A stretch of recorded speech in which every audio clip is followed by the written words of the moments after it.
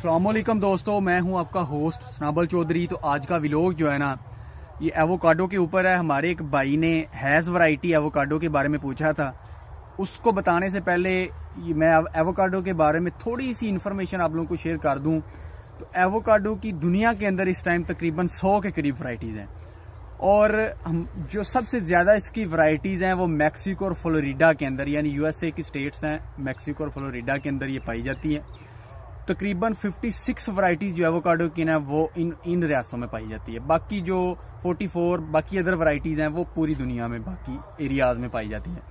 अब has variety के बारे में अगर मैं बात करूँ तो सबसे पहले आप लोगों को ये इन्फॉर्म कर दूँ कि हैज़ वराइटी अभी तक मेरे नॉलेज के मुताबिक पाकिस्तान में मौजूद नहीं है। क्योंकि अक्सर दोस्तों को ये भी कन्फ्यूज़न होती है को पूछ ले तो सामने वाला बंदा अक्सर लोग कह देते लो जी, मिल जाएगी जी।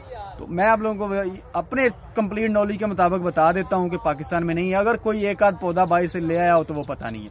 ये हमारे पास जो वराइटीज़ पड़ी हुई हैं, पीछे ये कॉमन है। अच्छा हैज़ के बाद वराइटी के बारे में बता दूँ तो ये जो है ना नाइनटीन की बात है। तो ये बेसिकली हैज़ वराइटी का नेम कैसे, यानी इसको इतनी अहमियत क्यों दी जाती है?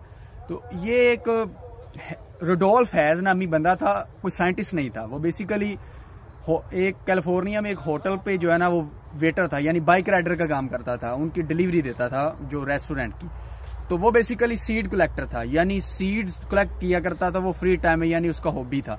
तो उससे इस हैज़ वैरायटी के सीड मिलते हैं, उससे कोई इलम नहीं था कि ये वैरायटी कौन सी है। उसने वो सीड लेके ग्रो करवाए ग्रो करवा के उसके बाद बहुत सारा टाइम गुजरने के बाद तकरीबन कुछ चालीस, पचास साल बाद जाके जो है ना, ये वैरायटी डिस्कवर हुई थी। मतलब इसका नेम इसी वजह से हैज़ एवोकाडो इसको इस वजह से कहते हैं कि उस बंदे के नाम से इसको मंसूब किया जाता है एडोल्फ रिडोल्फ हैज़ के नाम से। तो ये वैरायटी बड़ी ज़बरदस्त है, यानी कह लें कि एवोकाडो की तमाम वैरायटीज़ में सबसे टॉप पे मानी जाती है। उसके अलावा इसको हाइब्रिड में भी, जो है ना आजकल इसकी हाइब्रिड वैरायटीज़ भी आ गई हैं, लेकिन आम पाकिस्तान में ये अवेलेबल नहीं है। तो भाई ने पूछा था एक ने हैज़ वैरायटी के बारे में तो मैंने सोचा कि उसके बारे में उसकी हिस्ट्री और बाकी सारा नॉलेज मैंने आप लोगों से शेयर कर दिया है। अगर किसी दोस्त को एवोकाडो के प्लांट्स चाहिए हों तो आप लोग मेरे साथ कांटेक्ट कर सकते हैं। जिस तरह के कॉमन हमारे पास जो वराइटीज़ हैं, वो अवेलेबल हैं, वो आपको इंशाल्लाह मिल जाएँगी। ये बेहतरीन पौधे बैग पे आपको नज़र आ जाएँगे। ये हमारे पास मौजूद हैं। तो इसकी फ्लावरिंग टाइम मार्च के अंदर जो है ना, इस पर फ्लावरिंग होती है और बाकी सारा जो इसका इसमें भी जो है ना बेसिकली एक ही प्लांट के ऊपर मेल और फीमेल दोनों ही होते हैं। यानी इसमें एक और कॉन्सेप्ट भी है कि जो फीमेल की फ्लावरिंग है, उसके जो पोलन गिरते हैं वो मॉर्निंग टाइम होती है। मतलब मॉर्निंग में होती है, उसके पोलन गिरते हैं और उसका जो मेल पार्ट होता है, वो आफ्टरनून यानी पिछले टाइम दोपहर के बाद उस पर जो है ना, उसके फ्लार या उसके जो मेल पार्ट है, उसके जो है ना पोलन गिरते हैं तो आपस में जो है ना, उनका क्रॉस होता है।